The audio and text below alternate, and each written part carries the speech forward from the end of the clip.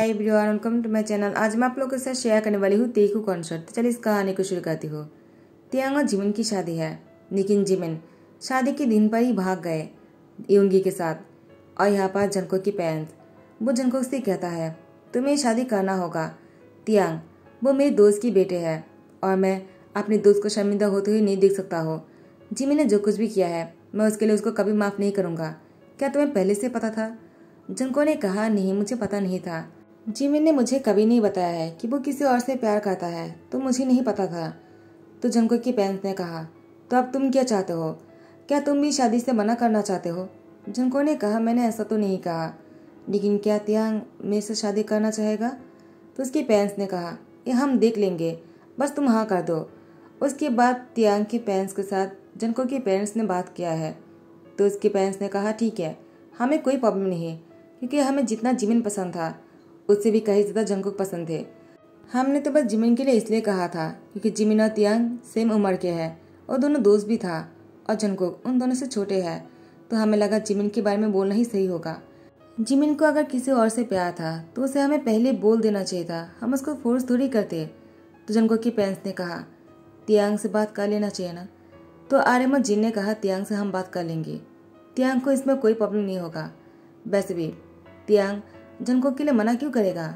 जब जंगकुक इतना अच्छा है, हम शादी को आगे बढ़ना चाहते हैं। टाइम निकलता जा रहा है। उसके बाद तियांग और जनको की शादी होने वाला था। तियांग जनको को देखकर शौक हो गए और जिमिन के बारे में पूछा। जनको को बहुत बुरा लगा, क्योंकि तियांग जिमिन के बारे में पूछ रहा था। तियांग ने कहा, क्या हुआ? आप लोग चुप क्यों हो? तो आर्यमत ने कहा, जिमिन, वो भाग गया। तियांग कहता है, क्या? वो ऐसा कैसे कर सकता है? तो उसके पेरेंट्स ने कहा, क्यों? क्या तुम्हें जनकुक पसंद नहीं। तियांग ने कहा मेरा कहने का वो मतलब नहीं था। तो फिर जनकुक का तियांग की शादी हो जाता है। जनकुक वो आश्रम में था। वो शावर ले रहे थे और तियांग जनकुक को बाहर ना आते हुए देखकर बहुत ही पेशन हो जाते हैं, क्योंकि बहुत देर हो चुका था। तियांग को लगा शायद जनकुक तियांग से शादी करने के बाद खुश नहीं है। तियांग ने दरवाजे पर नॉक करते कहा जनकुक आर यू ओके क्या तुम ठीक हो? तुम बाहर क्यों नहीं आ रहे हो? जंगकुक चुप है। वो कुछ नहीं कह रहा था। तो त्याग ने कहा जंगकुक तुम कुछ कहते ही क्यों नहीं?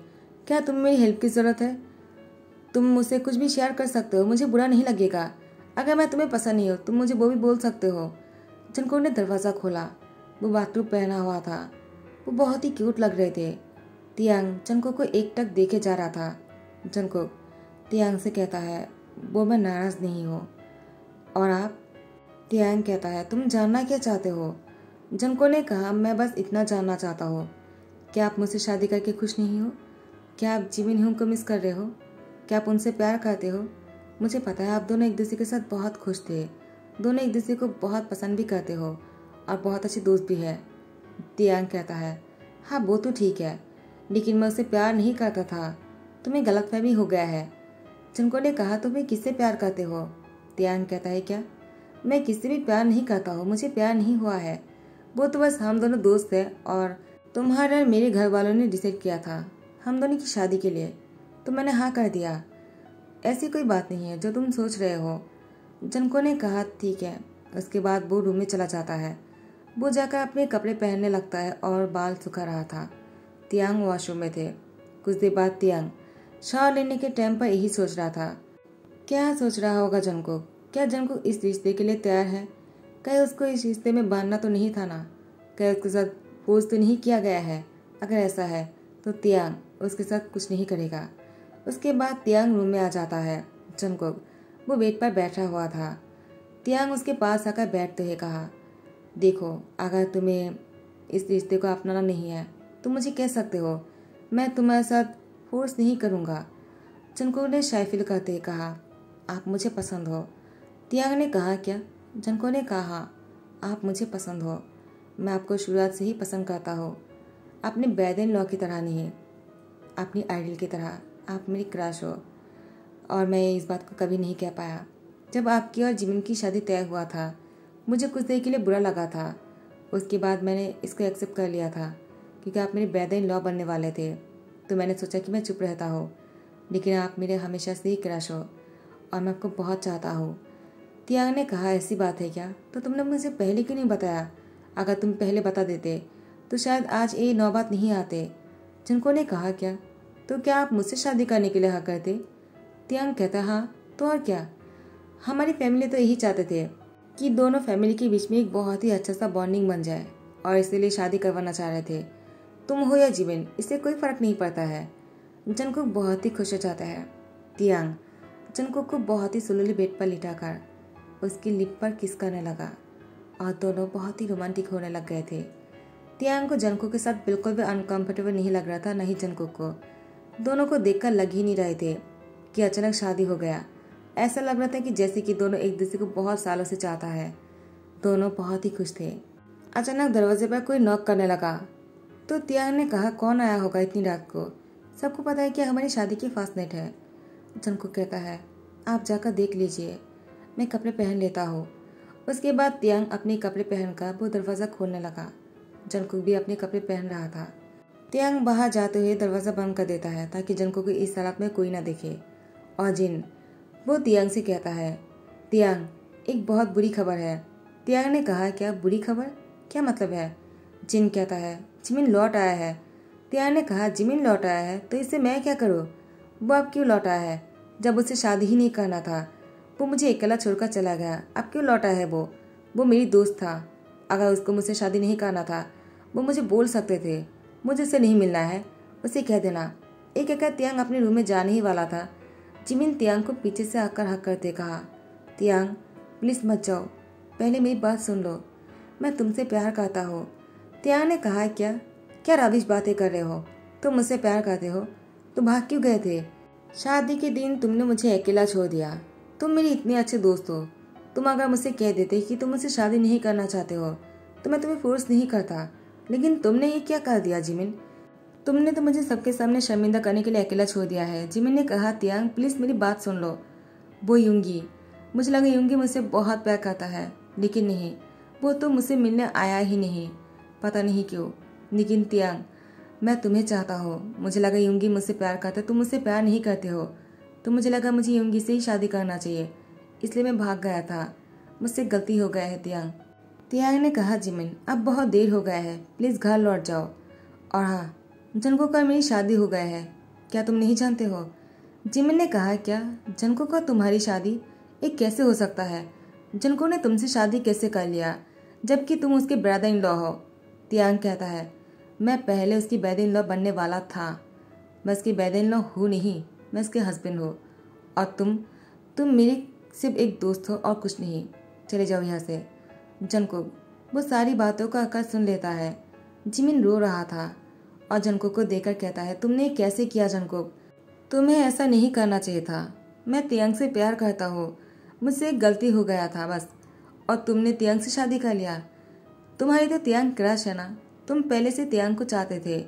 इसलिए तुमने ऐसा किया ना? मौका देखकर ही उससे शादी कर लिया। मैं तुमसे ये एक्सपेक्ट नहीं कर रहा था। तियांग ने कहा जिमिन बस बहुत हो गया। तुमने बहुत कुछ कह लिया है। गलती तुम्हारी है, ना ही जनको की। तो तुम्हें पता था कि मैं जनको की क्रश हूँ। जनको मुझे पसंद करता है। और तुम किसी और के साथ भागने वाले थे। तो तुमने मुझसे सब कुछ कहा क्यों नहीं? क्योंकि तुम मुझे अपना दोस्त मानते हो ना? या फिर ये भी नहीं मानते हो? ये तो लगता नहीं कि तुम मुझे अपना दोस्त मानते हो। क्योंकि तुमने मुझसे इतना कुछ छुपाया जो है। चिमिन कहता है, प्लीज़ दियांग, मुझे माफ़ कर दो, मुझसे गलती हो गया है। लेकिन दियांग ने चिमिन को घर से निकाल दिया। जनकुक, वो तियांग को मना कर रहा था, लेकिन तियांग ने कहा, नहीं जनकुक, वो हमारी रिश्ते को तोड़ने आया है, और मैं ऐसा नहीं होने दूँगा, क्योंकि मैं भी तुम्हें पसंद करता हूँ, और मुझे अपनी लाइफ तुम्हारे साथ ही स्पेंड करना है, ना ही जिमिन के साथ। मैं नहीं चाहता कि जिमिन हमारे बीच में आए। समझ के तुम बीच में बताना मुझे हैंडल करने दो। टाइम को स्किप करते हैं। जनको सेवन मंथ प्रेग्नेंट है। तियांग उसको खाना खिला रहा था और आर्यम और जीन जनको की बहुत ही प्यार कर रहे थे।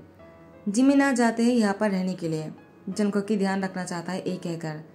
तियांग ने कहा, जिमिन अच्छा हुआ कि तुम यहाँ पर आ गए। तियांग को लगा, जिमिन उसकी बड़े भाई है, उसका ध्यान रखेगा तियांग काम में बिज़ी रहता है। तियांग जिमिन पर बहुत ही भरोसा करता है, उसकी दोस्त है। तो उसने फिर से जिमिन को एक मौका दिया अपनी दोस्ती निभाने के लिए। तियांग को बिज़नेस ट्रिप के लिए दो दिन के लिए बाहर जाना है। तियांग ने कहा, जिमिन तो तुम जनको का ध्यान रखना, ठीक है? मैं दो दिन के लिए बाहर जा रहा हूँ। जिमिन ने कहा, तियांग, तुम बेफिक्र होकर चले जाओ। मैं जनको की ध्यान रखूँगा। तुम जब वापस आओगे ना, देखना, सब कुछ ठीक हो जाएगा। तियांग ने कहा, क्या? मैं समझा नहीं। जिमिन ने कहा, मेरा कहने का मतलब है कि जंको को कुछ नहीं होगा। तियांग कहता ठीक है। उसके बाद तियांग निकल जाता है। जंको को हक करते उसकी लिप पर किस करके चला जाता है? जिमिन, इस बात को देखने के बाद उसको बहुत ही जेली से और गुस्सा भी आ रहा था। आज तियांग उसके साथ ऐसा करते लेकिन आज उसके जगह पर जंकुक है। जिमिन, वो अपने बालों को नोचते हुए कहा, मैंने कितनी बड़ी गलती कर दिया है। उस युंगी पर भरोसा करते हुए, मैंने उससे प्यार किया था। उसकी वजह से मैं तियांग से दूर हो गया। आज तियांग जंको की जगह पर मुझे इस तरह से प्यार करते और अब जंको को इतना प्यार मिल रहा है। और सब लोग मुझे इतना हिट करता है। मैं चाह कर भी सब लोग के नज़र के सामने अच्छा नहीं बन सकता हो। मैंने जो कुछ भी किया है, मुझे बापा से तियांग के दिल पर जगह बनाना होगा।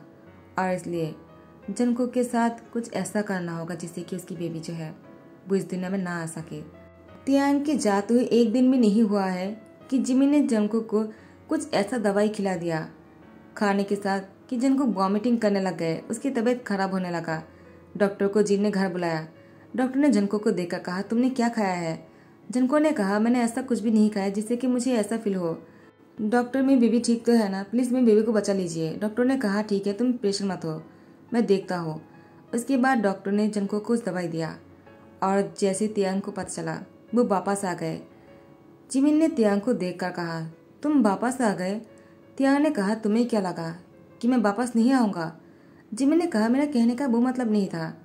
मैं तो बस ये पूछना चाह रहा था, तुम्हारा काम कैसा रहा तियांग? तुम इतनी जल्दी कैसे आ गए? तियांग ने कहा, मेरे काम इम्पोर्टेंट नहीं है। मेरे इम्पोर्टेंट जनकुक है, और जनकुक की तबीयत ठीक नहीं है तो मैं वहाँ पर कैसे रह सकता था? चाहे कितना ही लॉस क्यों ना हो जाए, मुझे यहाँ पर आना था। जनकुक को बहुत अच्छा लगा। तियांग की मुझसे ऐसी बातें सुनकर, जनकुक तियांग की तरफ़ देखते हुए कहा, मेरी बेबी ठीक तो होंगे ना? तियांग जनकुक से प्रॉमिस करते हुए कहा, मैं तुमसे प्रॉमिस करता हूँ मैं तुम्हें और बच्चे को कुछ नहीं होने दूँगा। समझ गए तुम? तुम बेफिक्र हो जाओ। मैं अभी डॉक्टर से बात करता हूँ। डॉक्टर ने कहा, तियांग लगता उसके खाने के साथ किसी ने दवाई मिला दिया है, जिसको जनकों को खाना नहीं चाहिए था। कुछ नशे की दवाई। इसीलिए उसको ऐसा हो रहा है। वो उल्टी किए जा रहा है। अगर मैं टाइम पर नहीं आता और तुम्हारी पापा ने मुझे कॉल नहीं किया होता तो पता नहीं आज क्या हो जाता। जनकुक अच्छा हुआ कि वो टाइम पर वॉमिटिंग कर लिया था। वरना कुछ भी हो सकता था। तियांग ने कहा, क्या? लेकिन दवाई दवाई किसने खिलाया होगा? उसके बाद तियांग सोचने लग जाता है और कहता है, यहाँ पर पापा और डैड के बिना एक और इंसान भी है, जिमिन। जिमिन ऐसा नहीं कर सकता है। मैंने उस पर भरोसा किया था। क्या उसने मेरे भरोसे को तोड़ दिया है? मुझे जिमिन से पूछना होगा। लेकिन मैं कैसे पूछूँ? जनको जिमिन की यंगर ब्रदर है। वो उसके छोटे भाई के साथ ऐसा नहीं कर सकता है। चाहे वो कितना ही जेलिस क्यों ना हो जाए, वो ऐसी हरकतें नहीं कर सकता है। तो फिर क्या किसी मेड ने ऐसा किया है? लेकिन कोई मेड ऐसा क्यों करेगा? तियांग अपने सर पकड़ लेता है। जनको ने तियांग को देखकर कहा, क्या हुआ? डॉक्टर ने क्या बताया है? तुम इतने पेशेंट क्यों लग रहे हो? तियांग ने कहा, जनको, तुमने क्या खाया था? कि तुम्हें अचानक उल्टी होने लग गया? जनको ने कहा, वो मुझे जिमिन हुंग ने बाहर से खाना मंगाया था और वही मुझे खाने के लिए दिया था। जो मुझे बहुत पसंद है। मैं बचपन में खाया करता था। उन्होंने मेरी पसंदीदा खाने को ऑर्डर किया था। तो मैं अपने आप को रोक नहीं पाया, ज़्यादा खा लिया था। शायद इसीलिए मुझे वॉमिटिंग हो रहा था। त्याग ने कहा, तुम कितनी इनोसेंट हो। तुम्हारी जिमिन ब्रादा ने तुम्हें दवाई खिला दिया था, नशे की। और उसी वजह से ऐसा कुछ हो रहा था। और तुम अपनी बच्ची को खोने वाले थे। हमारे बच्चे को खोने वाले थे हम। जिमिन, मैं तुम्हें नहीं छोड़ूँगा। तियांग जिमिन की कॉलर पकड़ते हुए कहा, तुमने ऐसा क्यों किया है जिमिन? जिमिन ने कहा, तियांग, मैंने कुछ भी नहीं किया है, मेरा यकीन करो। उसके बाद तियांग उस खाने की ऑर्डर जहाँ से आया था, वहाँ पर कॉल करता है। तो उन लोगों ने तियांग से कहा, उन लोगों की खाने पर कोई प्रॉब्लम नहीं था, चाहे तो वो लोग यहाँ पर आकर टेस्ट कर सकते हैं। तो फिर तियांग ने जिमिन से कहा, तुम क्या कहना चाहते हो? जिमिन ने कहा, तियांग, मैंने कहा ना, मैंने कुछ भी नहीं किया है। जन को कहता है वो ऐसा नहीं कर सकता है। प्लीज़ अब ऐसा मत करो। आप उन पर शक क्यों कर रहे हो? तियांग ने कहा, क्योंकि जिमिन ही ऐसा किया है? मुझे पूरा यकीन है, क्योंकि कोई सर्विन ऐसा नहीं करेगा। हर कोई बहुत ही अच्छा है। उन लोगों ने बचपन से मुझे बड़ा किया है। वो लोग मेरे हस्बैंड के साथ ऐसा बिल्कुल नहीं करेगा। और एक जिमिन ही है, जो वो इतनी जेलिसी की वजह से ऐसा किया है। क्यों जिमिन? मैंने सच कहा ना? अभी तो सच कह दो। मुझे भरोसा नहीं हो रहा कि तुम मेरे दोस्त होकर ऐसा कैसे कर सकते हो। पहले तुम ही शादी छोड़कर चले गए, और ऊपर से तुम्हारी जगह पर जनको को शादी करना पड़ा। और अब तुम उसे ही मानना चाहते हो। जिमिन ने कहा, मैं उसे नहीं मानना चाहता हूँ। वो मेरा छोटा भाई है। मैं उससे प्यार करता हूँ। मैं तो बस बच्चे को मारना चाह रहा था। त्यार ने कहा, देखा, सच्चाई मुँह से उगल ही गया ना। तुम बच्चे को मारने के लिए ऐसे किया था। शेमिन हो जिमिन, तुम ऐसे कैसे कर सकते हो? आई हेट यू चले जाओ यहाँ से। टाइम को स्किप करते हैं। जनको का तियांग एक बहुत ही प्यारा सन है, जिसका नाम है गोलू। गोलू, वो चार साल का है। और जिमिन वो अब लिटिल वन बन गया है। वह बच्चों की तरह करता है। जनकुक ने तियांग से कहा, क्या मैं जिमिन से मिलने जा सकता हूँ? तियांग ने कहा, नहीं। जनकुक ने कहा जिमिन अब वो मेरा एल्डर ब्रदर नहीं। वो एक बच्चा है, जो कुछ नहीं समझता है। बिल्कुल गोलू की तरह। और मुझे उनके साथ जाकर बात करना है, उनसे खेलना है। उनको ठीक करने के लिए मुझे कोशिश करना है। तियांग ने कहा, क्या? जो हमारे बच्चे को मारना चाह रहा था तुम उसको ठीक करना चाहते हो? जंगो ने कहा, तियांग, शायद तुम भूल रहे हो, वो तुम्हारा दोस्त है। और उनने बस जेलिसी के बारे ऐसा किया है। बस उनकी दिमाग ठीक नहीं चल रहा था। पहले बहुत कुछ हो गया है। उन पर बहुत कुछ बीता है। वो जिनसे प्यार करते थे, वो तो उनसे मिलने आया ही नहीं। तो उनको बहुत बड़ा झटका मिला। उसके बाद जब वो वापस आए, तब उन्होंने देखा कि मेरी शादी तुमसे हो गया है। उनको और बड़ा झटका लगा। तो वो जेलिसी के बारे ऐसा किया है। प्लीज़ तियांग उन्हें माफ़ नहीं कर सकते हैं क्या? अब तो उनकी तबीयत भी ठीक नहीं है। तियांग ने कहा चनकुक तुम बहुत ही इनोसेंट हो, और इसलिए तुम मुझे इतने पसंद हो। तुम यकीन नहीं करोगे। तुमसे शादी करने के बाद मुझे तुमसे इतना प्यार हो गया कि अब तुम्हारे बिना एक सेकंड भी मैं नहीं रह सकता हो। रियली लव यू जनकुक बहुत ही ब्लश हो जाता है और कहता है आई लव यू टू और गोलू, दौड़कर आ जाता है तियांग और जनकुक की हाथ पकड़ते कहा मुझे भी आप लोग के साथ जाना है। कहाँ जा रहे हो? चनको ने कहा, तुम्हारे अंकल के पास क्या तुम मिलने जाओगे? गोलू मुस्कुराते हुए कहा हाँ जाऊँगा। जनको का तियांग कहता है, लेकिन तुम्हें उनके साथ बहुत ही अच्छे से पेश आना होगा, क्योंकि वो तुम्हारी ही तरह है। गोलू ने कहा, क्या वो भी मेरी तरह छोटा सा लड़का है क्या? तो वो मेरा दोस्त बन सकता है? चनको का तियांग ने कहा, नहीं, वो तुम्हारी उम्र की नहीं है, लेकिन वो बीमार है ना तो वो तुम्हारी तरह ही बच्चों की जैसे हरकतें करता है। और तुम्हें उनके साथ बच्चों की तरह ही बात करना होगा, खेलना होगा। तुम उनको अंकिल नहीं कहोगे। तुम उनको चिम्मी कहोगे, ठीक है? और तुम अपना दोस्त बना लेना। दोनों साथ में खूब खेलना। उसके बाद तियांग और जंग गोलो को लेकर जिमिन से मिलने जाता है। जिमिन, वो तियांग को देखकर डर रहा था। जन को पास आकर बैठ जाते और जिमिन को समझाते कहा, तुम्हें डरने की कोई ज़रूरत नहीं। वो तुम्हें खा नहीं जाएगा। वो तुम्हारा दोस्त है। और मैं तुम्हारा दोस्त हूँ, और गोलू भी तुम्हारा दोस्त है। हम तीनों तुम्हारा दोस्त है। तुम्हारे साथ खेलने आए हैं। जिमिन बहुत ही खुश हो जाते हैं, और गोलू जिमिन के साथ दोस्ती करने लगता है। उसके बाद गोलू और जिमिन बहुत ही अच्छे से दोस्त हो जाते हैं, और गोलू जिमिन को कंफर्टेबल फील करवा रहा था, जिसकी वजह से जिमिन पहले से बेहतर होते जा रहे थे। और चंकोक और त्याग गोलू और जिमिन को देखकर कहता है, हमने कभी सोचा नहीं था कि जिमिन इस हालत में पहुँच जाएगा। फाइनली कोई ऐसा आ गया है जो नॉक करता है और जिनको की पेरेंट्स ने कहा, तुम यहाँ पर क्या करने हो? कौन हो तुम? वो कोई और नहीं था यूँगी थे। यूँगी को देखकर ही तियांग को गुस्सा आने लग गया।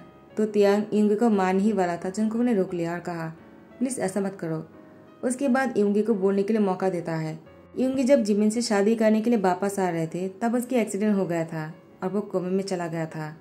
अब जब यूँगी को होश आया यूँगी तुरंत जिमिन से कांटेक्ट करने की कोशिश किया। यूँगी को पता चला जिमिन वो आप पहले की तरह नहीं है। वो लिटिल वन बन गया है। यूँगी ने कहा, अगर आप लोग को कोई प्रॉब्लम नहीं है तो मैं उससे शादी करना चाहता हूँ। और उसका ध्यान रखना चाहता हूँ क्योंकि उसकी इस हालात की जिम्मेदार मैं हूँ। उसके बाद यूँगी और जिमिन की शादी हो जाता है। टाइम को स्किप करते हैं। जनको का त्याग वो दोनों बहुत ही खुश थे और गोलू भी बहुत खुश था। गोलू छः साल का हो चुका है। जिमिन प्रेग्नेंट है और इसलिए जनको का तियांग और गोलू जिमिन से मिलने आया है। जिमिन अब पहले की तरह लिटिल और नहीं है, वो ठीक हो चुके हैं। यूँगी के प्यार की वजह से जिमिन अब पहले की तरह हो चुका है और जिमिन बहुत ही शर्मिंदा है अपनी कर्म की वजह से। लेकिन उसने जो कुछ भी किया है, जिनको का तियांग ने उसको माफ़ कर दिया। तो इसी हैप्पी एंडिंग के साथ दी एंड करता हूँ। आई होप कि आप लोगों को पसंद आया हो। अगर पसंद आ रहा हो तो लाइक कमेंट शेयर कर देना सब्सक्राइब कर देना। थैंक यू सो मच बाबा टेक केयर